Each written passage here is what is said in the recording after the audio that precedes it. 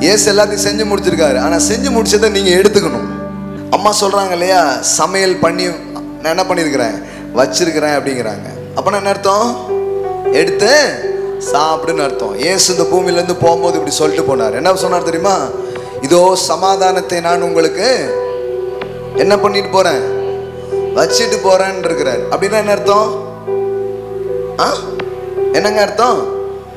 சமாதானத்தை கொண்டு போயிட்டாரா? பரலோகத்துக்கு வச்சுட்டு போனாரா? பரலோகத்துக்கு சமாதானத்தை கொண்டு போக வேண்டாம். ஏன்னா பரலோகம் சமாதானமா தான் இருக்கு.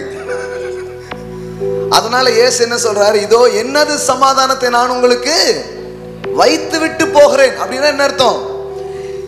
இந்த பூமியில தான் சமாதானம் இல்லை. அதனால நான் என் சமாதானத்தை என்ன பண்ணிட்டு இருக்கிறேன்?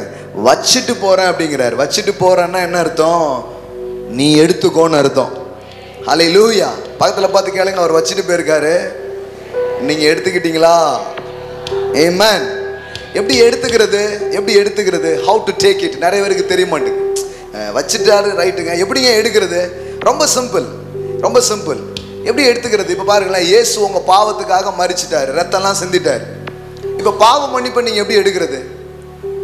இயேசு வந்து உங்கள் நோய்க்காக சிலுவையில் மறிச்சு சுகத்தை என்ன பண்ணிட்டாரு? ஏற்படுத்தி வச்சுட்டார். இப்போ சுகத்தை எப்படி எடுக்கிறது? இயேசு உங்களுக்காக தரித்திரரா மாறி உங்க தரித்திரத்தெல்லாம் எடுத்துட்டாரு. ஐஸ்வர்யத்தை வச்சுட்டு போயிட்டார். இப்போ எப்படி எடுக்கிறது? இது இது தெரிய மாட்டேங்குது பாருங்க கிறிஸ்தவங்களுக்கு. எப்படி எடுக்கிறதுனே தெரிய மாட்டேங்குது. அதனால யார் பாக்கெட்லயே இருந்து எடுத்துறது? யாக்கோபு மாதிரி. திருடியாவது ஆசீர்வாதத்தை என்ன பண்ணிடலாம் அடிச்சிடலான்ட்டு அண்ணன் தம்பி ஏமாத்துறது சொந்தக்காரங்களை ஏமாத்துறது யாரையாவது ஏமாத்திடுறது. ஏமாத்தி ஏதாவது எடுத்து எடுத்துக்க பார்க்கறது ஏன்னா அவர் வச்சிருக்கிறத எப்படி எடுக்கிறதுன்னு தெரியாதனால யாரையாவது ஏமாத்தி எதையாவது என்ன பண்றோம்? எடுத்துக்க? பார்க்குறோம். எப்படி எடுத்துக்கிறது? பவுல் அப்போஸ்தலர் வந்து ரொம்ப அழகாக சொல்லித்தர ரோமர் பத்தில் நாம் படிக்கிறோம். எப்படி எடுத்துக்கிறதுங்கிறது தான் ரோமர் பத்து. என்ன படிக்கிறோம்னா அவர் சொல்கிறாரு இனிமே கிறிஸ்துவை இறங்கி வர வச்சு சிலுவையில் மறிக்க சொல்லி நாம் யாரும் ரட்சிப்பு என்ன பண்ண வேண்டியதில்லை? பெற வேண்டியது இல்லை. ஏன்னா ரட்சிப்பு என்ன பண்ணிருக்குது? ஏற்கனவே வைக்கப்பட்டிருக்கிறது. சுகம் ஏற்கனவே வைக்கப்பட்டிருக்கிறது. செழிப்பு ஏற்கனவே வைக்கப்பட்டிருக்கிறது. இப்போ எப்படி எடுத்துக்கொள்வதா கத்தராக இயேசுவை உனியதயத்தில் விசுவாசித்து தேவன் அவரை மரித்தோரிருந்து எழுப்பினார் என்று உன் வாயினால் அறிக்கை செய் அப்பொழுது ரட்சிக்கப்படுவாய் அப்ப எப்படி எடுத்துக்கிறதா? இருதயத்துல விசுவாசிச்சு வாயினால் அறிக்கை பண்றது தான் எடுத்துக்கிறதுக்கான வழி. எத்தனை பேர் புரிஞ்சுன்னு தெரில எல்லாம் சொல்லுங்க இருதயத்தில் விசுவாசிங்க வாயினால் அறிக்கை பண்ணுங்க அது உங்களுடையதாக மாறிவிடும். எவ்வளவு சிம்பிளா வச்சிருக்காரு பாருங்க. எடுத்துக்கிற வழி ரொம்ப சிம்பிள் என்ன வச்சிருக்கிறாருன்னு தெரிஞ்சுக்கணும். அதுக்கு தான் போதனை கேட்க வந்திருக்கீங்க. போதனை கேட்கும்போது என்னெல்லாம் என் பேரில் இருக்கு? சமாதானம் என்னுடையதா? சொல்லவே இல்லையே. சங்கடம் தான் எனக்குன்னு சொல்லிட்டாங்க. யா சுகம் எனக்கா? ஓ இவ்வளவு நாள் எனக்கு சுகமே கிடையாது. பரலோகத்துல தான் சுகம்ட்டாங்க. இப்போ நமக்கு தெளிவா சொத்து பத்திரத்தை இப்போ தெளிவா வாஸ்தாச்சு எல்லாருக்கும் விளங்க. ஆரம்பிச்சிருச்சு. என்ன விளங்கிடுச்சு? பூமியிலே ஒரு பரலோகம் இருக்கு. இப்போ எப்படி அது எடுத்துக்கிறது? How to take it how to receive it அப்படின்னா இருதயத்துல விசுவாசிச்சு வாயினால் அறிக்கை பண்ணணுமா?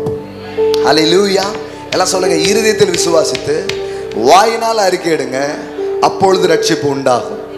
அப்பொழுது சுகம் உண்டாகும். அப்பொழுது செழிப்பு உண்டாகும். அப்பொழுது ஆரோக்கியம் உண்டாகும். அப்பொழுது நிம்மதி உண்டு- வெற்றி உண்டாகும். அப்பொழுது ஜெயம் உண்டாகும். அப்ப இருதயத்தில் விசுவாசித்து வாயில சொன்னாலே போதும் எல்லாமே உங்க வாழ்க்கையில உண்டாக ஆரம்பித்து விடும். ஆமே அதனால தான் சர்வீஸ்க்கு வந்து இந்த பாட்டு படிக்கிற நேரம்லாம் சும்மா ஏதோ உட்காந்துக்கிற நேரம் இல்லை. வைத்தீரே முற்றுப்புள்ளியை என் கஷ்ட நஷ்டங்களுக்கு இனி கண்ணீர் இல்லை கவலை இல்லை சந்தோஷம்தான் என் வாழ்க்கையில அப்படின்னு சொல்வதின் மூலம் அதை உங்களால் பெற்றுக்கொள்ள முடியும். ஆமேன். உங்க வாழ்க்கையில நடக்கணும்னா உங்க வாயை தான் யூஸ் பண்ணணும். பாஸ்டர் வாயில வரதுனால இல்ல உங்க வாயில வரணும். அதனால தான் கடவுள் சொல்றாரு உன் வாயை விரிவா தெர நாத நன்மையால நிரப்புவேன். எல்லாம் மூடின குடம் மாதிரியே இருக்கு. கொஞ்சம் திறந்து வச்சீங்கன்னா அவர் நிரப்ப ஆரம்பிப்பார். அல்லேலூயா எத்தனை பேர் பாடலாம்?